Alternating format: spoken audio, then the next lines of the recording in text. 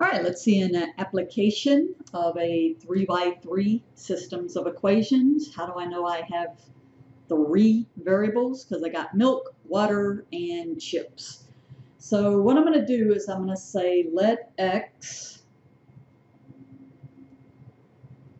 if I can write, let x equal the price of the milk. So it says you picked up four gallons of milk, six bottles of water, and six nice slabs of chips.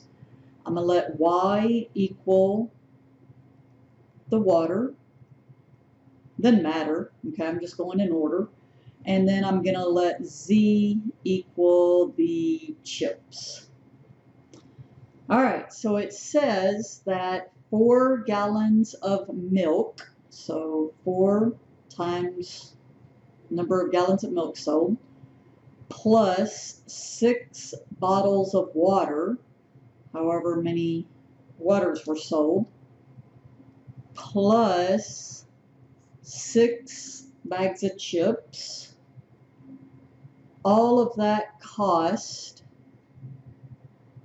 $33.10. All right, it says if a bottle of water so water is twice as much as a bag of chips. Well, that would be twice as much of a bag of chips. And then it says um, a gallon of milk is $2.10 more than the water. So the water being y, or I could go ahead and say, well, y is 2z.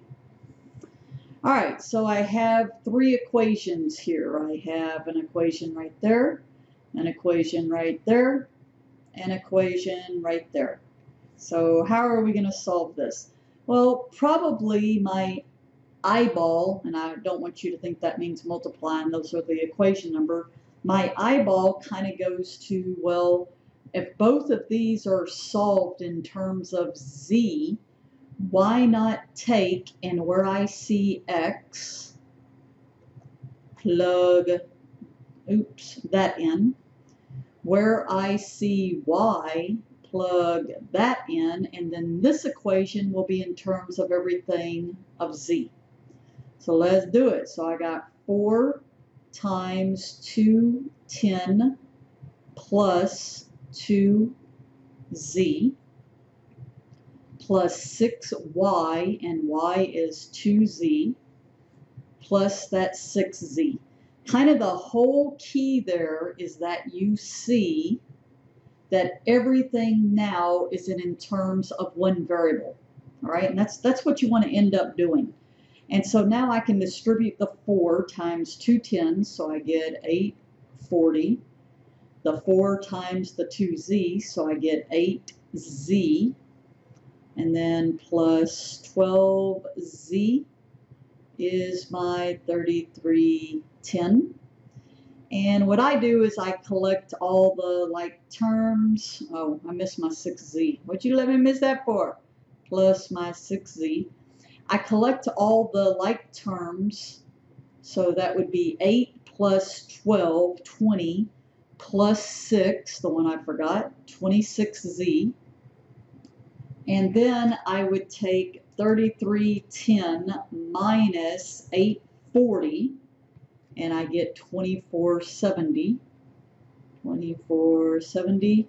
What did I do? I subtracted the 840 from both sides, minus 840. And then I take the 2470 and I divide by 26 and I get 95 or 0.95. We would hope a bag of chips isn't $95, right? So in other words, a bag of chips is 95 cents. So I have that one. My chips, 95 cents. I bet you can figure out how to get the price of water. Plug in what Z equals, and that would be a dollar ninety. And then finally, the same thing here, 210 plus 2 times my z. And that would end up being four dollars. So four dollars for milk, $1.90 for water, and 95 cents for chips.